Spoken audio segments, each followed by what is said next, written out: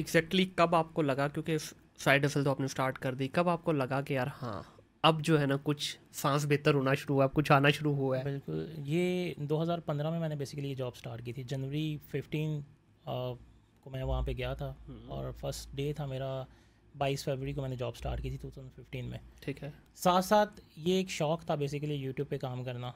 लेकिन यूट्यूब पे वो सक्सेस नहीं मिल पा रही थी। सही फेसबुक आई फेसबुक की मोनेटाइजेशन आई। फ़र्स्ट टाइम काम किया और क्रिकेट की वीडियो उठा के लगा दी। ठीक है। आइडिया नहीं था कि पैसे बनेंगे लेकिन वीडियो वायरल हो गई। हम्म। वो साढ़े चार सौ चार सौ साठ डॉलर उसने बनाए। पहली वीडियो जो पहली वायरल हुई ठीक है। फ़र्स्ट टाइम 2017 में। चार सौ साठ डॉलर बनाए और यकीन नहीं था कि अब ये बैंक में आएँगे।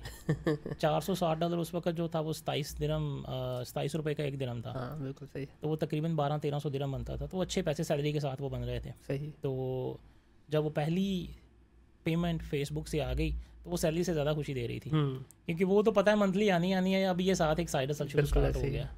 लेकिन जब आप फेसबुक पे काम कर रहे हैं तो आपको पता है कि आप इंटेलेक्चुअल प्रॉपर्टी के साथ भी खेल रहे हैं किसी और की वीडियो हम्म। हाँ। मुझे बिल्कुल पता था कि वो क्रिकेट की वीडियो मैं उठा के काम कर रहा हूँ।